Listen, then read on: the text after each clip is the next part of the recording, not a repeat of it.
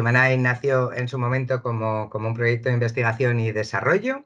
Eh, empezó en el, mundo, en el mundo de la educación principalmente y eh, bueno, pues vamos a seguir este esquema que estáis viendo y que estará reflejado en el white paper que quizás no, no todos conocéis. Así que comenzamos. Bueno, como os decía, este es el white paper. Aquí tenéis el enlace. Si buscáis un white paper de, de HumanEye lo vais a encontrar, lo vais a encontrar en internet.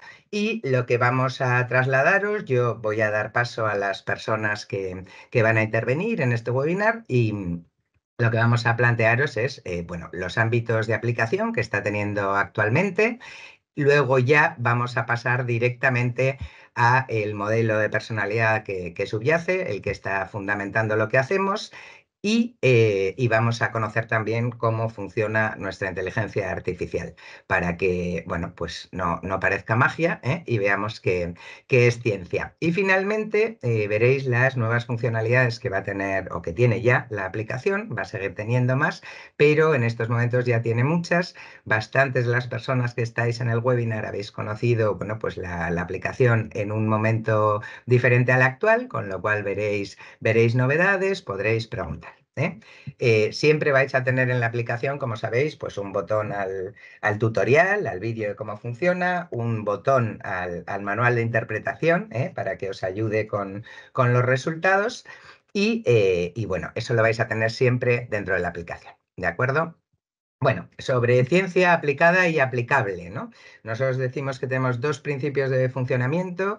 Uno es trabajar con evidencia científica, en algunos momentos crearla, eh, y el otro es una, una, IA responsable, una IA que se base en principios éticos. Ahora mismo estamos, estamos ya trabajando bueno, pues con el ámbito educativo, tanto en secundaria como en formación profesional, como en universidades. Como veis, aquí os he trasladado algunos ejemplos eh, que están reflejados en el, en el white paper. También trabajamos con servicios de empleo, con empresas, lógicamente, eh, y, con el mundo deportivo, en que, bueno, pues la psicología deportiva, como sabéis, tiene, tiene cada vez más relevancia y entonces, bueno, pues cada vez se trabaja más con otros aspectos que los meramente físicos o de, o de rendimiento deportivo. ¿En qué, ¿En qué, se basa nuestra diferenciación? Bueno, pues eh, en evitar esos sesgos de autopercepción o de deseabilidad social que tenemos cuando eh, planteamos las respuestas a un test, ¿no? Voluntario o involuntariamente, ¿no?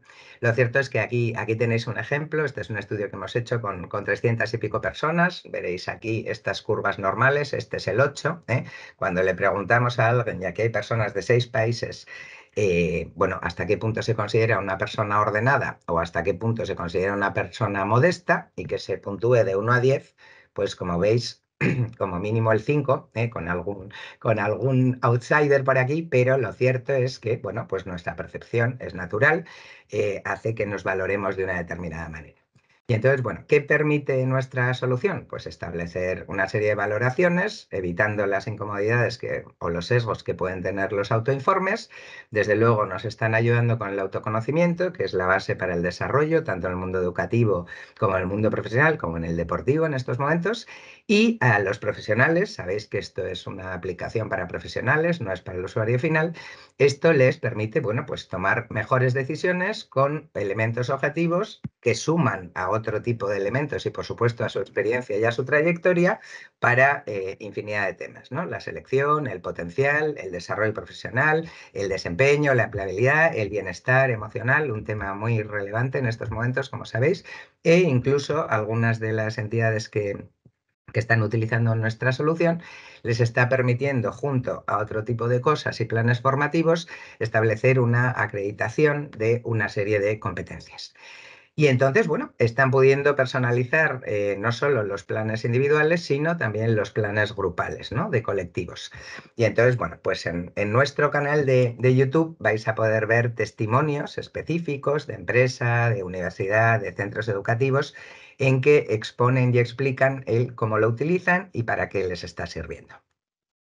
Y ahora doy paso a Eh, tenemos una invitada de honor, eh, va, a hablar, María Orellana. María Orellana es la directora de Recursos Humanos para España, Portugal y Sudáfrica de AON, que conoceréis, y eh, va a ser ella quien nos traslade bueno, pues el, el, modelo de personalidad que subyace, con las implicaciones que puede tener, el por qué se utiliza en el ámbito empresarial, que no solo.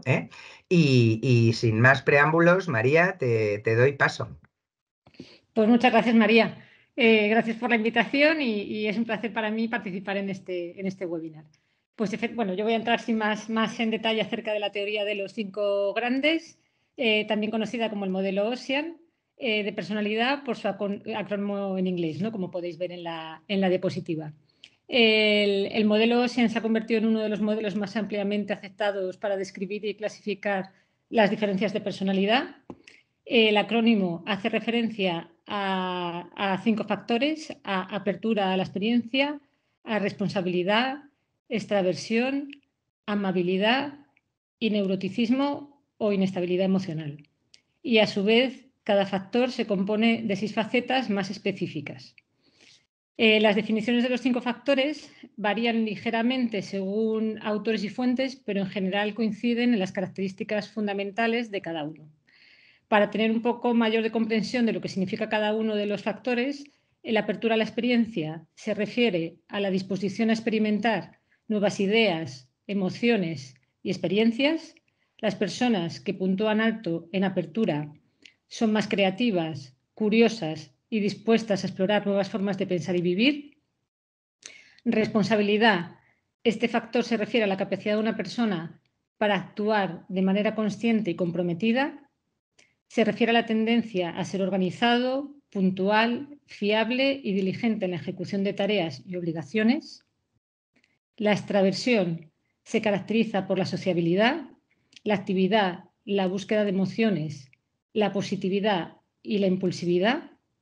Las personas que puntúan alto en extraversión disfrutan de la interacción social y tienen una energía constante y activa. La amabilidad se refiere a la disposición a cooperar y ayudar a los demás, así como a la sensibilidad hacia las necesidades de los demás. Las personas que puntúan alto en amabilidad son empáticas, altruistas y consideradas con los demás. Y por último, el neuroticismo se caracteriza por la experiencia emocional negativa y la inestabilidad. Las personas que puntúan alto en neuroticismo son más propensas a experimentar ansiedad depresión, irritabilidad y cambios de ánimo. Por poner un ejemplo, en mi caso, poniéndome a mí como ejemplo, eh, mi nivel de neuroticismo es, es, bajo, es decir, que tengo una estabilidad emocional alta y por lo general es verdad que en entornos laborales, en el entorno de trabajo, suelo gestionar muy bien el estrés. Por lo general no pierdo la calma con, con facilidad y, normalmente si veo situaciones, ¿no? Hay situaciones a veces tensas en, el trabajo, pues yo suelo normalmente tomar un rol más para intentar destensar, destensar el ambiente. Y bueno, pues es un rasgo de mi personalidad que hace que suela ¿no? mantener bien, bien el control en situaciones, en situaciones estresantes. María, si pasamos a la, a la siguiente slide. Eh, como comentaba María, bueno, en cuanto al modelo, se ha mantenido como, explicación de la personalidad en muchos análisis a lo largo de, a lo largo de los años, incluso entre distintas culturas. Eh, está considerado como uno de los modelos de personalidad más fiables y consistentes en la investigación psicológica. Ha demostrado tener una alta fiabilidad tanto en estudios de autoinforme como en estudios observacionales.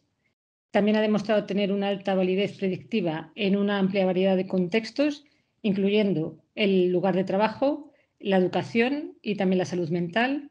Y también se ha utilizado para predecir una, amplia variedad de resultados, incluyendo el rendimiento laboral, el éxito académico y también la salud mental.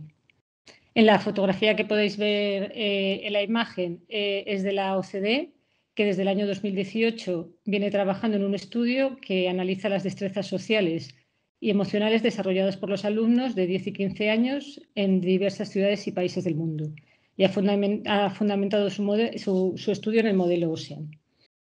Eh, otros estudios de interés en Estados Unidos han analizado la relación entre altos niveles de extraversión, amabilidad y responsabilidad que se relacionan positivamente con la satisfacción laboral y con el bienestar.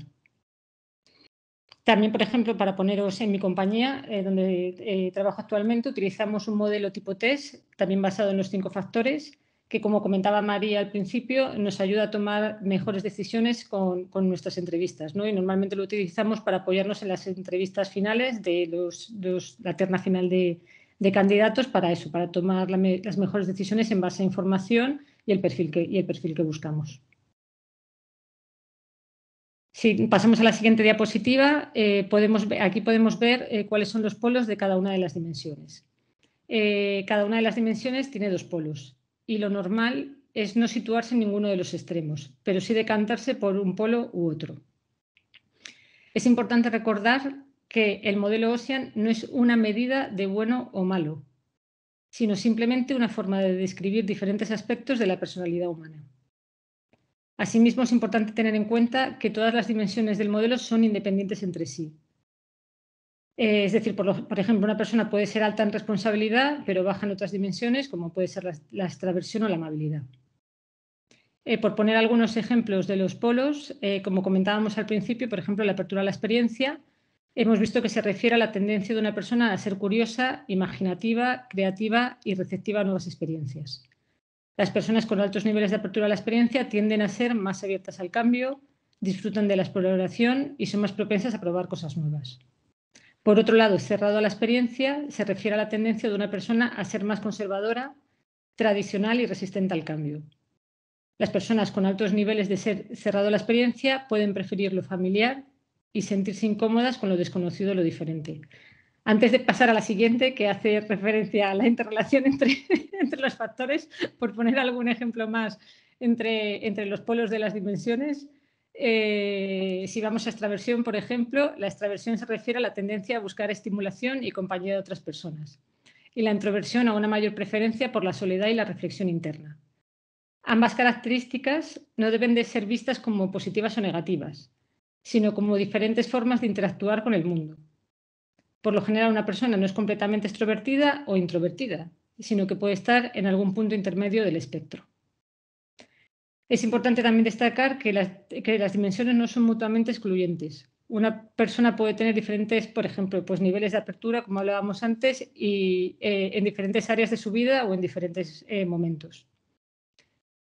Si quieres, pasamos, María, a la siguiente, que, eso, como sí que cada una, de las cada una de las dimensiones se puede estudiar por separado, pero sí que es muy interesante analizar eh, cómo, cómo, se relacionan entre sí. ¿no? Eh, ¿Qué sucede, por ejemplo, cuando una persona salta en extraversión y baja en responsabilidad? ¿Cómo se relacionan eh, la apertura y el neuroticismo? Eh, estudiar la interacción de las dimensiones y de los factores de la personalidad puede arrojar mucha información sobre cómo se manifiestan las diferencias individuales en el comportamiento humano. Por ejemplo, si veis aquí, por poner algún ejemplo, un perfil alto en extraversión y baja en responsabilidad, ¿no? que sería el primero, eh, puede describir a alguien que disfruta de la vida social y el entretenimiento, pero puede tener dificultades para cumplir con las responsabilidades del trabajo en la escuela. Eh, eh, si cruzamos un perfil alto en extroversión y baja amabilidad, puede describir a alguien que es extrovertido y sociable, pero también puede ser competitivo y desconsiderado con los demás. O un perfil alto en extraversión y alto en neuroticismo puede describir a alguien que es extrovertido y seguro de sí mismo, pero que también puede ser impulsivo y poco reflexivo en sus decisiones. Eh, si vamos al, siguiente, un perfil alto en eroticismo y bajo en amabilidad puede describir a alguien que experimenta emociones negativas intensas con frecuencia y puede tener dificultades para relacionarse con los demás de manera efectiva. Y un perfil alto en eroticismo y baja responsabilidad puede describir a alguien que experimenta emociones negativas con frecuencia y puede tener dificultades para cumplir con las responsabilidades diarias. Si queréis, paro aquí por si tenéis alguna pregunta, queréis hacer alguna pregunta al chat y si no, seguir dando paso a, la presentación. Continuamos entonces. Muy bien. Bueno, pues ahora yo voy a dejar de, compartir. Em, vamos a hablar de inteligencia artificial y el lenguaje, ese gran tema ¿eh? ahora mismo. Y entonces quien, quien nos lo va a trasladar es eh, nuestro responsable de inteligencia artificial, nuestro coordinador, Juan, a quien os presento, Juan Tuñas, que además de varias virtudes, no solo técnicas, tiene una fantástica y es la de que sabe explicarse de una manera muy didáctica y muy amena. Con lo cual, eh, bueno, reitero que tenéis preguntas y respuestas para que podáis trasladarlas. No le vamos a interrumpir, si os parece, a Juan, salvo que sea meramente imprescindible, hasta que finalice y en ese momento podréis hacer las preguntas que tengáis. Muchas gracias. Adelante, Juan, por favor. Genial. Muchas gracias por la presentación, María. Eh, efectivamente, vamos a entrar a explicar un poquito todo el tema de la inteligencia artificial que hay detrás del algoritmo eh, de HumanEye. Eh, voy a intentar hacerlo liviano, como bien has dicho María, intentar hacerlo, bueno, que sea fluido, ¿vale? Muchas cosas técnicas, pero voy a intentar evitarlas y que todo el mundo entienda lo que hay detrás, ¿vale? De, de energía artificial. Creo que ya lo podéis, se ve, ¿no? La presentación. Se está compartiéndose, a ver si podéis confirmarme. Ok, pues vamos allá. Em, realmente tengo que empezar desde el punto de partida, ¿vale? Que no es realmente mi área, este área del punto de partida está liderada por la doctora, por la doctora Bea, doctora en psicología, y nuestro investigador en psicolingüística, Damaso, de la Universidad de Navarra. Pongo este punto de partida antes de la IA porque es la hipótesis científica que se lleva corroborando desde hace 10 años, ¿vale? en el que han trabajado muchísimos investigadores desde hace décadas y que es tratar de ver cómo el lenguaje representa nuestra personalidad. ¿vale? En el año, a partir del año 2009-2010 empezaron a, mostrar los primeros estudios que ya eh, presentan una fuerte evidencia en virtud de esta hipótesis. ¿vale? Se ha tardado tanto tiempo en, en conseguir estos primeros resultados porque la forma de estudiarse estos comportamientos y de procesar el texto hasta hace bien poquito ha sido bastante compleja, ¿vale? Incluso desde que yo estoy trabajando en esto hace ya más de 10 años, cuando empezamos a estudiar en cómo procesar el lenguaje natural, lo que hacemos es recapitular una serie de reglas que tiene el lenguaje, tanto léxicas, sintácticas y semánticas, y tratábamos de programarlas y ver si se cumplen en los textos, ¿no? Eh, esta es la manera, durante décadas de investigación, se ha conseguido obtener resultados en este sentido. ¿vale? Y entonces, a partir de este momento, nosotros cogemos esto como punto de partida. El lenguaje representa nuestra personalidad. Mientras todos trabajábamos en esa forma de hacer procesamiento del lenguaje natural, los grandes del sector estaban preparando por detrás el gran cambio que ha supuesto la irrupción de los nuevos modelos del lenguaje que introdujeron tanto Google como GPT. ¿vale? Y es en ese momento donde nosotros vemos la gran oportunidad de conseguir y procesar ese lenguaje para extraer esa personalidad que está en él. ¿vale? El gran salto que dieron estos nuevos modelos cuando han salido a la luz, y creo que ya todos conocemos lo que es el chat GPT y, lo que ha supuesto en el campo del procesamiento del lenguaje natural, nosotros nos basamos en los mismos, en principios en los que se basan esos algoritmos. ¿vale? El mayor de ellos es la T del GPT, que por eso le han puesto ese nombre y que nos viene muy bien a, a nosotros ahora para explicarlo. Esa T que significa el transformer. ¿vale? Y no son los transformers que vemos en las películas y demás, muy chulos y demás es mucho más simple el concepto en sí mismo. Un transformer lo que hace es transformar el texto en números. ¿vale? Y aquí podríamos tener millones de formas de hacer una conversión de texto en números, ¿vale? Pero lo que idearon ellos y por lo que esto es una genialidad y ha supuesto la irrupción y sobre todo asentar el estado del arte en absolutamente todos los campos del procesamiento del lenguaje natural, es que son capaces de transformar el texto en números conservando todas las relaciones del lenguaje detrás. ¿Vale? Y como te digo, una vez sacaron estos transformes y se han puesto a realizar las validaciones, se han situado como estado del arte en todas y cada uno de los métodos de análisis del procesamiento del lenguaje natural, métodos de validación. Es decir, ha sido absolutamente disruptivo como estos algoritmos han mejorado todo el sector. Pero claro, ¿cómo han conseguido eh, hacer ese algoritmo que transforma tan bien los textos en números guardando todas esas relaciones? No voy a ahondar muchísimo en esto. Eh, es más, tenemos un vídeo en YouTube en donde tuvimos que dar una charla a diferentes miembros de la empresa de IBM, en donde explicábamos este tema. Si os interesa, podéis pedírnoslo por, por email y os lo enviaremos, ¿vale? No voy a entrar mucho más en cómo se realiza esta transformación en números. Si lo queréis, os lo podemos pasar ese vídeo. Pero bueno, para que lo entendamos fácil y rápido, la clave está en la P del GPT, ¿vale? Que es el preentrenado. ¿Qué quiere decir que está preentrenado? Quiere decir que han cogido todos los textos existentes en Internet, y hablamos de millones y millones y millones y millones de textos, y pasándoselos a este algoritmo, como todos esos textos están bien escritos, ha sido capaz de recoger, bien escritos me refiero a que, bueno, significa en el lenguaje, nadie ha escrito mal para expresar una idea, al menos ha querido expresarla. Entonces el lenguaje, de cierta manera, es correcto. Ha conseguido coger todos esos miles de millones de textos y procesar esas relaciones que hay entre esos textos. Y de ahí crear estas transformaciones o cómo transformar un texto en números guardando esas relaciones que ha visto en todos esos millones de miles de millones de textos. ¿Vale? Entonces, esos millones y millones de textos reales de donde aprender las relaciones. Estas relaciones vamos a darle ya un, nombrecillo, ¿vale? Para quedarnos con él, que son aspectos lingüísticos. Y le damos este nombre tan genérico porque en realidad dentro de ello está todos los tipos de relaciones léxicas, semánticas, sintácticas y muchas más allá, que dado la capacidad que tienen estos algoritmos de procesar ingentes cantidades de datos, hemos sido incluso incapaces de ver cuánto más allá es capaz de hacer el algoritmo.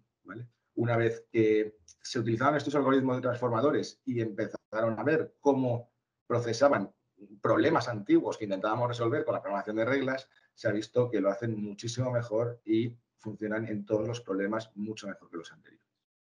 Entonces, de alguna manera son capaces de recoger todos y guardar todos estos aspectos lingüísticos que hay en los textos y relacionarlos entre sí. ¿vale?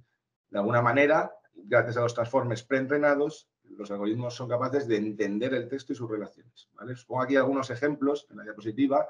Os digo, frecuencias relativas de palabras, léxico, sintaxis semántica, distancia entre palabras en diferentes contextos, elementos semánticos, cohesión y relación de ideas en un texto. Tener en cuenta que lo que se habla de que estos grandes modelos de lenguaje, que es como se llaman LLMs, que hemos puesto antes, son capaces de guardar toda esta información en billones de parámetros. No sé si habéis escuchado alguna vez esto, pero son billones de parámetros. Es decir, cuando nos dedicamos a programar las, las reglas gramaticales para procesar los textos antes, éramos capaces de meter todas esas reglas en cientos, miles, y miles ya eran muchas de reglas. ¿vale? Estamos comparándonos con algoritmos que son capaces de guardar esta información en billones de parámetros. Es decir, cuando nosotros podemos saber qué parámetros guardan estos aspectos lingüísticos que estoy mostrando, somos capaces de verlo. Pero hay miles de millones de parámetros subyacentes que incluso no sabemos cuáles son y que están funcionando por detrás. ¿vale? Entonces, vuelvo a repetirlo porque es clave en esto eh, estos algoritmos han sido disruptivos y han mejorado todos y cada una de las validaciones en hacía el lenguaje natural.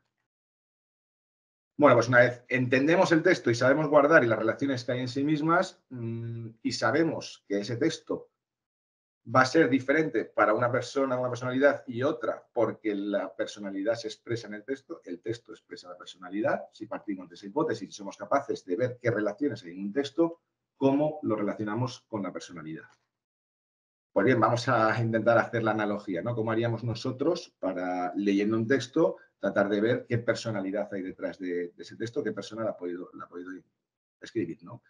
Pues lo primero que pensaríamos sería ver nuestra experiencia, haríamos grupos de personas en nuestra cabeza bastante bueno, nublosos, no muy precisos, donde veíamos a gente pues a lo mejor un poco más neurótica, un poco más abierta, experiencias, tal, intentaríamos ver o bueno, tratar de inferir qué cosas dicen ese tipo de personas y ver si está en ese texto. Claro, aquí la, subjetividad es enorme, primero, porque no todos nos hemos eh, cruzado con todas las mismas eh, gente, hay personas y mismo tipo de personalidad, ¿vale? Entonces, necesitaríamos una cierta, un estándar, ¿vale? Para hacer este tipo de, de trabajos. Pues, de alguna manera, el algoritmo también. Necesitamos un experto que nos diga, oye, esta persona tiene esta personalidad y ha realizado este texto. ¿vale? Es decir, necesitamos expertos que nos digan la personalidad de la persona detrás que escribe el texto. ¿vale? A esto, en el tema del Machine Learning y en la inteligencia artificial, se le llama un aprendizaje supervisado, ¿vale? porque hay alguien que te dice la variable final que se, que se conoce, ¿vale? El, el, suelo de verdad, que también se le conoce. Es decir, esta persona tenía esta personalidad. ¿vale? Y este grupo de expertos, con este aprendizaje supervisado, lo conseguimos de tres maneras diferentes. Primero, la observacionalidad, ¿vale? Expertos observando a la persona que está escribiendo el texto. Luego, las reglas lingüísticas de las que hemos hablado antes y que se llevan estudiando durante décadas, también las incorporamos en el entrenamiento del algoritmo. Y por último, también incorporamos ciertos test psicométricos. ¿vale? Y con la conjunción de estas tres suelos de verdad es como tratamos de etiquetar los textos diciendo esta persona tenía esta personalidad. ¿vale? Entonces ahora mismo tenemos el texto, como hemos dicho, las relaciones que hay en el texto convertidas en numeritos y además tenemos el dicho que este texto lo ha escrito una persona con esta personalidad. ¿vale? Tenemos textos etiquetados por conocimiento experto con la personalidad del que escribe. ¿Qué hace el algoritmo entonces? Y lo he puesto en una frase a ver si se entiende y punto. El algoritmo encuentra la variabilidad de estos aspectos lingüísticos presentes en textos de diferentes personalidades. Es decir, que si una persona con una personalidad A y una persona con una personalidad B escriben un texto, en A va a haber unos aspectos lingüísticos, en B va a haber otros, y esto, como están codificados matemáticamente, el algoritmo es capaz de encontrarlo. Y cuando venga un nuevo texto, va a decir, se parece más a A, se parece más a B o está en el medio. Porque sé qué algoritmo, qué aspectos lingüísticos debería tener A. ¿vale? Y ahí es donde ha aprendido todos esos aspectos lingüísticos que tiene ese tipo de población con esa personalidad. Y eso, recordemos, se lo ha dicho un experto. ¿Vale? Entonces, por hacer un resumen y, concluyendo con esto, para que nos quede bien, grabado, nos basamos en la misma tecnología que los grandes, modelos del lenguaje. Para hacerlo más fácil, en el GPT utilizamos la T de los transformers, utilizamos la P del, entrenado y, utilizamos un aprendizaje supervisado, etiquetando y que un experto diga qué personalidad cada uno. Entonces, en este sentido, dado un nuevo texto, cuando lo procesamos, el algoritmo es capaz de decir que se parece a una persona con extraversión y nos da un valor de extroversión, el valor 53. Y después de haber hecho toda esta teoría, haber estudiado todo esto, haberlo aplicado, tenemos un, una extraversión del 53. Y como diría mi sobrina, que la saca la edición, la pobre mamona ella, pero ¿qué dices? ¿Qué significa un 53 en extroversión? después de todo el trabajo que hemos hecho, la fundamentación científica, ¿qué es el 53? ¿Qué hacemos con ese 53? Pues como en todas las ciencias humanas y de humanidades, una vez tenemos una métrica, necesitamos establecer qué es esa métrica. Y os voy a poner un ejemplo muy sencillo y que, que creo que se va a ver. Una persona de 1,83 centímetros es una persona alta o es una persona baja. Pues bueno, según mi experiencia y por lo que yo me he ido rodeando de la gente que me ha rodeado, perdonad, mi experiencia es que sí, que una persona, un 83 es una persona alta. Claro, cuando me fui de Erasmus a Rotterdam, mm, un 83 yo era el bajito, la verdad, de toda la gente de allí. Sin embargo, cuando voy, por ejemplo, a recoger sobrina al colegio, pues soy de los altos, vamos, soy de los más altos. ¿Qué quiere decir esto? Que el resultado que nos da de personalidad es un resultado relativo, que depende con quién lo comparemos. Y esto es muy importante porque, como os digo, todo el trabajo que hay detrás de la inteligencia artificial, que saca un resultado fiable, validable, que está validado, explicaremos cómo, realmente luego tiene que ser claramente interpretado. No, no nos basta que desde nuestra subjetividad veamos un dato de una persona es muy alta y nos quedemos ahí. Tenemos que tratar de interpretar que ese muy alto se refiere a toda la, con, con la población a la que estás comparando. En ese caso, como digo, nosotros tenemos una muestra de más de 2.000 personas en donde sacamos esa calificación de alto o bajo. Ese 53 es alto o bajo, dependiendo con qué lo compare. Y nuestra muestra de más de 2.000 personas en donde sitúa a esa persona dentro de esta muestra. Ese resultado hay que interpretarlo en ese sentido. Esta persona es alta con respecto a una población entera normal. A lo mejor un niño de 18 años y nos sale, un chaval incluso más pequeño, pues comparado cuando lo comparamos con adultos, es normal que tenga un este muy bajo, un estrés muy bajo, un, ¿vale? un resultado adecuado a la comparación que hacemos con la población. ¿Vale? Y ya voy, a, eh, voy terminando con el tema de validación, ¿vale? Cómo realizamos la fundamentación científica y la validación científica de estos algoritmos. ¿vale? No solo la parte de los transformes que hemos hablado, que está muy validada el cómo cómo recupera esa información y es capaz de guardar las relaciones del lenguaje, sino cómo luego lo aplicamos a que mida bien la personalidad, ¿vale? Y sea capaz de encontrar esa variabilidad de estos aspectos lingüísticos entre las diferentes personalidades. ¿Vale? Y como en realidad lo hemos entrenado con tres aspectos que hemos comentado antes, validación de expertos, reglas lingüísticas y test psicométricos, pues realizamos los tres tipos de validación acorde a cada uno de ellos. ¿vale? Validación de expertos que le consideramos validación de campo, la validación psicolingüística psicolingüística para ver estas reglas lingüísticas que se cumplen en las poblaciones de diferentes personalidades Y luego una evaluación psicométrica, es decir, que nuestra herramienta sirve como arión psicométrico para medir la personalidad de una población. ¿Vale? En este sentido, nuestros resultados, que ya tenemos resultados de validación bastante prometedores, en el estudio de campo, un gran resultado, un 85% de los expertos están de acuerdo o muy de acuerdo con el nivel de evaluación. Las reglas lingüísticas y validación lingüística estamos a punto de publicar, tenemos los primeros resultados y estamos viendo dónde publicar estos primeros resultados. ¿vale? En la validación lingüística, como veis, lo que sacamos es para cada rasgo de personalidad qué aspectos lingüísticos ¿vale? subyacen detrás de esa población. ¿vale? Eh, son temas léxicos, semánticos, sintácticos y luego otros mucho más allá. ¿Vale? Pero estos son los que podemos recoger, que se han ido estudiando durante estas décadas y que ahora podemos decir que están detrás de estos y que nosotros somos capaces de encontrarlo. Por último, las correlaciones entre las diferentes facetas, como explica antes María, hay unas pequeñas relaciones entre las facetas de cada uno de los factores, ¿vale? que deberían conservarse en toda población medible con una herramienta de psicométrica. ¿vale? Y esto es lo que realizamos estos procesos de ver que se correlacionan exactamente como deberían. ¿vale? Que dada una población, la personalidad de toda esa población se distribuye de una manera normal, como haría cualquier población humana. ¿vale? Estos resultados también están siendo bastante prometedores y pronto pasaremos a, sus, a, su publicación. Bueno, espero, espero que haya sido digerible sobre todas estas horas y no nos haya atragantado mucho la digestión. Eh, si os parece, muchísimas gracias Juan y muchísimas gracias María, que no sé si te las he dado, a, Íñigo, que va a compartir directamente, eh, bueno, las, las, nuevas funcionalidades ¿eh? que, tiene, que tiene la aplicación. ¿Te parece, Íñigo? ¿Vas a compartir pantalla tú? Sí, me parece que ya la estáis viendo, ¿verdad? Sí. Vale, bueno, pues eh, bueno, en general ya todos creo que conocéis la aplicación de, alguna manera u otra porque la estáis probando o habéis hecho la demo. Entonces, bueno, lo que vamos a explicar en concreto aquí va a ser eh, algunas funcionalidades que son importantes que hemos añadido las últimas semanas, ¿vale? Eh, básicamente van a ser cuatro. primera va a ser la de importar masivamente ya personas o sea, áreas, grupos, en, definitiva, una estructura de una organización podría importarla de manera masiva y no tener que hacerlo manualmente uno a uno.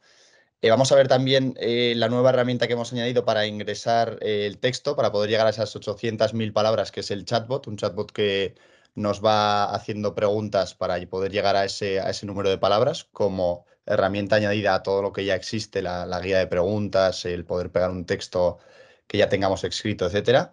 Y eh, vamos a ver también los informes, eh, bueno, que hemos tratado de hacerlos algo más sencillos para aquellos que ya vais teniendo más experiencia con la herramienta, para que podáis seleccionar qué información mostrar o no en los informes, pues porque para que sea más útil ¿no? a la hora de entregarlo a, las personas eh, evaluadas o a la hora de compartirlo, pues para que puedan ser algo más sencillos. Y veremos también brevemente las gráficas comparativas que ya muestran em, más niveles de comparación respecto al resto del grupo, al resto del área o, incluso al resto de la organización. Entonces, bueno, em, vamos a empezar con la, funcionalidad de importar. Em, ya veis, estamos aquí en, una organización de prueba y em, por diferenciarlo un poco, antes de empezar con esta, con esta funcionalidad de importar, eh, diferenciarlo de la de exportar que ya tenemos disponible eh, desde hace tiempo, eh, la, la, funcionalidad de exportar lo que nos ofrece es poder eh, obtener un Excel con todos los resultados y todos los datos que ya tenemos dentro de la organización, es decir, eh, códigos, eh, áreas, grupos dentro de, nuestra, de, nuestra, organización, los demográficos de cada una de esas personas, em, los resultados que ha, obtenido, que ha, obtenido, en el análisis, sus etiquetas si es que está etiquetada esa persona.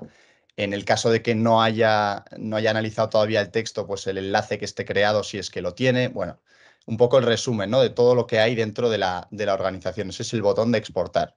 Lo que hemos añadido es la opción pues, para aquellas organizaciones que, tenéis que importar datos de manera algo más masiva, personas de manera más, más masiva, pues la opción de importar a partir de una plantilla que, hemos elaborado. Entonces, bueno, aquí tenéis estos tres botones que son las, las novedades. Eh, la opción de importar únicamente está disponible para administradores, es decir, para la persona que tiene acceso a toda la plataforma. Eh, no para gestores de un área, no para gestores de un grupo, sino para el administrador de toda la organización. Va a ser la única persona a la que se le va a mostrar estos tres botones y lo va a poder hacer desde la pantalla inicial. Dentro de un área, dentro de un grupo, no está la opción de, importar. Entonces, bueno, em, estos tres botones son los dos primeros para poder descargar la plantilla de importación, ya sea una plantilla en blanco o una plantilla con la estructura actual de la organización. Y el tercer botón va a ser para importar directamente todos los datos una vez esas plantillas estén ya rellenas. ¿no? Em, la opción de importar, y por eso hay aquí dos, dos, plantillas, una en blanco y una con la estructura actual, está tanto para empezar de hacer una organización, es decir, si tuviéramos esta organización completamente nueva, tendríamos aquí todo vacío, no habría ningún área, ningún grupo, ninguna persona creada, ningún análisis hecho. Em, tendríamos que crear desde cero ¿no? esta organización y para eso está la plantilla de importación en blanco. Bueno, la podemos descargar fácilmente y lo que tendríamos que ir añadiendo aquello que nos interese, aquellas personas que queramos crear, pues eh, separadas en las distintas áreas, los distintos grupos, con sus códigos, año de nacimiento, bueno, los demográficos eh, que corresponde a cada persona. Tenemos aquí una explicación encima de cada columna de qué es lo que se requiere para cada una de, estos, de estos valores y eh, la opción de poder importar a partir de la estructura actual de la organización, lo que nos permite es editar una organización ya existente, ¿vale? Em, pues yo, por ejemplo, quiero cambiar eh, unas personas en concreto, las quiero mover desde un grupo a otro o de un área a otra, o quiero crear un nuevo área y mover a unas personas que ya existen a ese área, por lo que pueda, por lo que pueda ser, pues por eh, cambio de departamento de un empleado, cambio de curso de un alumno, bueno, las casuísticas son, son muchas, ¿no? Entonces, em, lo que vamos a hacer va a ser, en este caso, descargar la, plantilla de, la estructura actual de la organización para poder hacer eh, ambos ejemplos, no solamente el de crear personas nuevas, sino el de modificar personas que, ya existan dentro de la, de la, aplicación, en este caso de esta organización. Entonces, bueno, ya veis aquí que tenemos eh, cada una de las, de las personas con su código dentro del área del grupo en el que estén, los demográficos, y también en el caso de que lo tengan creado el enlace, eh, vemos que aparecen unos en rojo, otros en verde. Aquellos que están en rojo son que ya están caducados ese, enlace y aquellos que están en verde todavía el enlace está disponible. Como vamos a hacerlo un poco, bueno, un poco em, rápido y, dinámico, vamos a eliminar el resto de personas, nos vamos a quedar con estas tres. Eh, imaginemos que queremos moverlas a un, a un, área nueva, ¿no? Que le vamos a llamar, pues, eh, webinar. Y de nuevo webinar y en este caso pues eh, vamos a crear dentro del área de webinar un grupo que se llama empleados y en el que vamos a poner a este código que ya existe dentro de la organización, lo vamos a cambiar a este grupo. Y bueno, aquí podemos incluso crear un nuevo grupo que no existiera y lo podemos mover. Em, también podemos, como os contaba, añadir nuevas personas pues a la hora de empezar una organización de cero, ¿no? Pues en este caso eh, vamos a añadirlo en esta, en esta nueva área que estamos creando y eh, vamos a meterlo en el grupo nuevo y podemos asignarle el código que queramos. Em, la opción ahora, eh, una vez creamos a una, a una, persona o queremos importar una persona, antes os, solíamos requerir los datos demográficos de, las personas para poder crear esa persona en una organización. Actualmente, eh, y al hacerlo de manera masiva, es muy probable que no tengáis todos los demográficos de esas personas que al fin y al cabo se completan cuando se envía un enlace para poder eh, enviar el texto. Por lo tanto, en este caso, en el caso de importar una organización, no es necesario añadir todos los datos demográficos si no se quiere. Únicamente habrá que crear un enlace para esa persona, que siguiendo las indicaciones que nos muestran aquí en las columnas, tenemos que marcar la columna de, persona con enlace eh, con una X para que creemos un enlace a esa persona y le podemos asignar una fecha de caducidad a ese enlace. Pues en este caso vamos a poner el 31 de marzo de 2024. Tendremos ese enlace disponible. Guardamos aquí eh, los datos eh, nuevos. Vamos a ver. Perfecto. Y volvemos ya a la, a la organización. Importamos nuestra, nuestra plantilla con los datos nuevos que queremos, que queremos añadir y vemos aquí un resumen de, lo que ha sido la, importación. En este caso hemos creado un área nueva, hemos creado grupos nuevos y hemos creado una persona nueva. ¿vale? Hemos actualizado dos personas que ya existían, las hemos movido a, nuevos, a nuevos grupos y nuevas áreas y hemos ignorado a una persona que no hemos hecho absolutamente nada con esa persona, ya lo veis aquí, hemos dejado en el mismo área, en el mismo grupo y no hemos tocado ni hemos editado su, sus datos. Entonces, simplemente ya con, actualizar, en este caso, la, página, ya tendremos aquí la nueva, el nuevo área creada. Podemos entrar en ella y vemos los nuevos grupos. Eh, en este caso, en la persona a la que le hemos creado un enlace, ya tenemos el enlace disponible para poder compartir. ¿vale? Bueno, esto sería un poco la, funcionalidad de la importación. Y siguiendo, em, aprovechando el enlace que hemos creado nuevo, eh, vamos a, utilizar, o sea, a mostrar la, funcionalidad del chatbot. Simplemente copiaríamos este enlace, lo compartiríamos a la persona que, queremos que lo, que lo complete y esta persona, como os decía, eh, si no sabéis los demográficos de las personas que introducís en la organización, no hay problema porque al crear una persona con enlace se le solicitan esos demográficos básicos que, como sabéis, nunca son, son identificativos y únicamente pues, nos sirven a nosotros para hacer nuestras, nuestras normas eh, a la hora de ofrecer pues, todas las, estadísticas. Em, mencionar que hemos añadido en estas nuevas actualizaciones, eh, además de bueno, las, que, las que ya teníamos eh, la opción de, deportista federado y deportista de alto rendimiento, que son demográficos que recogemos para ofrecer normas con, bueno, en el ámbito de la educación, del deporte, hemos añadido un nuevo demográfico que es el de el emprendimiento. Pues a ver si una persona se considera o no emprendedora. ¿no? Bueno, eh, completaríamos este, estos datos demográficos y ya iríamos a la parte de completar el texto. Como sabéis, el chatbot es algo añadido a, todo lo que ya tenemos, desde poder escribir un texto desde cero, poder copiar y pegar varios textos que ya tengamos, em, utilizar la guía de preguntas que tenemos disponible con distintas preguntas. Siempre lo importante es eh, el, utilizar un lenguaje natural, eh, si añadimos textos, varios textos que ya tengamos, pues que haya cierta extensión, como nos comentaba eh, Johnny, el lenguaje contextual aquí es, juega un papel importante, entonces es importante una mínima extensión del, texto. Y podemos utilizar, aquí tenemos el, nuestro chatbot Berta, em, que nos va a ir haciendo preguntas, vamos a conversar con ella un poco hasta llegar a las mil palabras, hasta las 800 palabras, o simplemente pues eh, hasta completar, imaginemos que tenemos ya un texto ya pegado, podemos añadir eh, la conversación que tengamos con Berta, pues pegamos el texto en la casilla que teníamos anteriormente y nos metemos aquí en el chatbot y hablamos con ella. Es importante tener las, indicaciones que nos da el, chatbot, no hay que, al igual que en el texto que, escribimos, no hay que proporcionar ningún dato eh, personal. Es importante también que que de alguna manera las respuestas que demos pues, eh, tengan cierta extensión, si no, eh, la misma Berta nos lo va a decir que, tenemos que ser un poco más extensos ¿no? en, nuestra, en nuestras respuestas. Pues aquí, por ejemplo, eh, pues bueno, cinco años, vamos a responder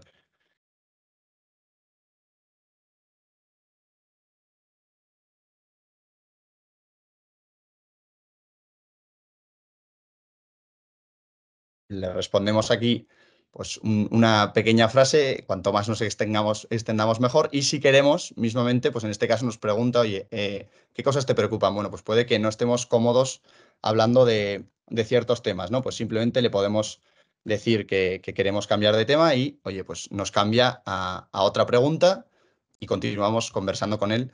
Y de nuevo nos avisa el, eh, Berta cuando llegamos a esas 800.000 palabras para simplemente volver a, la pantalla anterior y ver que aquí ya tenemos el texto que hemos, que hemos escrito a Berta, ya lo tenemos disponible y simplemente pues completaríamos, una vez hayamos llegado a esas mil palabras, y enviaríamos el, texto para que sea el administrador de la plataforma el que lo analice. Ya sabéis que las personas que envían su texto a través de un enlace nunca tienen acceso a la, aplicación y nunca pueden ni analizar su propio texto ni obtener ellos eh, su propio informe, sino que son los administradores de la plataforma los que, los que se lo pueden enviar. Bueno, y esto sería un poco em, la funcionalidad del chatbot.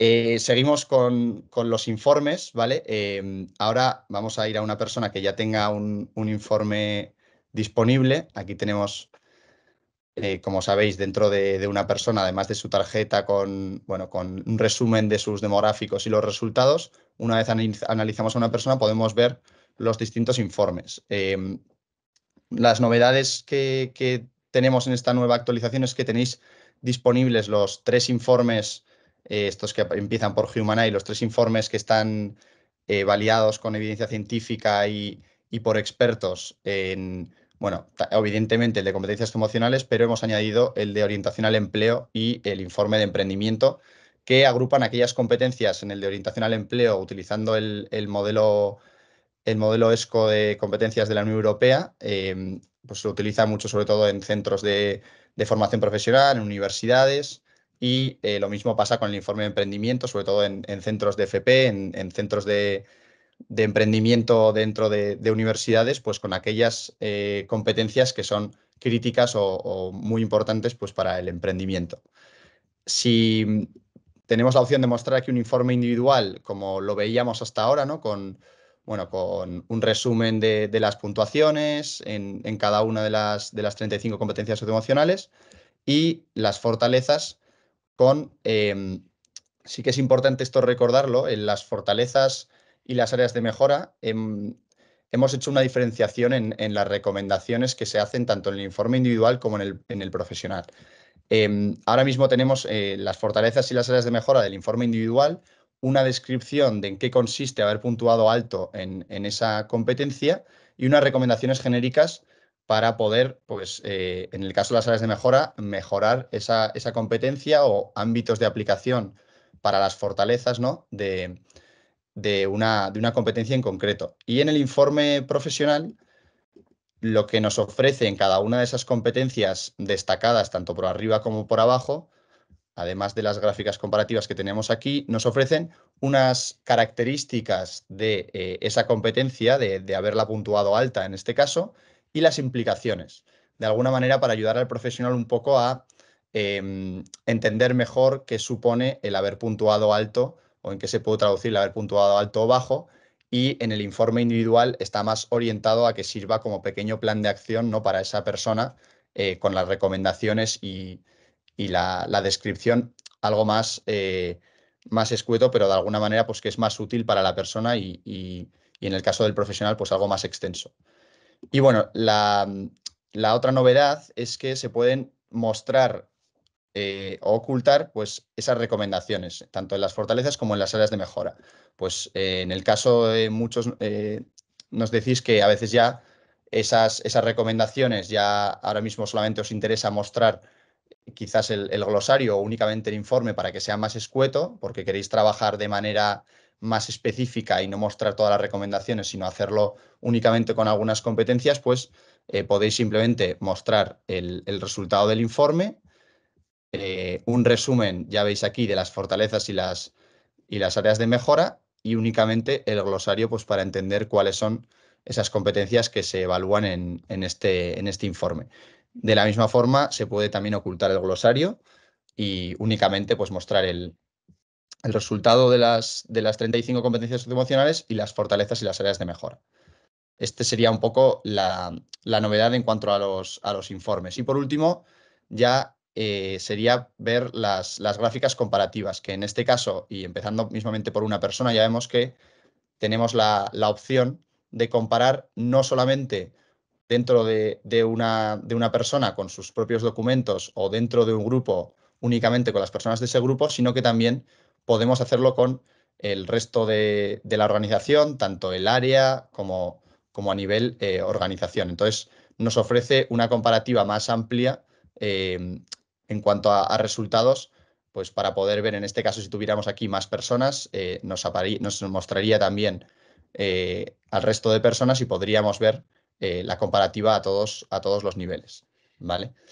Y bueno, ese sería un poco las, las novedades de la, de la aplicación y, agradeceros y a disposición para si tenéis cualquier duda sobre la aplicación. Eh, como os comentaba Juan, si queréis em, ahondar un poco más en el, en el, campo de la IA, pues podéis pedirnos ese, ese vídeo en el que explica un poco mejor eh, si, se puede, porque yo creo que con lo bien que lo ha explicado Juan, pues será difícil mejorarlo, pero bueno, eh, cualquier duda que tengáis, pues nos podéis escribir y estaremos encantados de, resolveros. Así que yo creo que podemos cerrar la grabación aquí y, nada, agradeceros mil la, asistencia. Muchas gracias. Gracias María, gracias Juan, gracias Íñigo y gracias a, quien estáis, a quienes estáis al otro lado. Aquí nos tenéis a vuestra disposición para lo que necesitéis.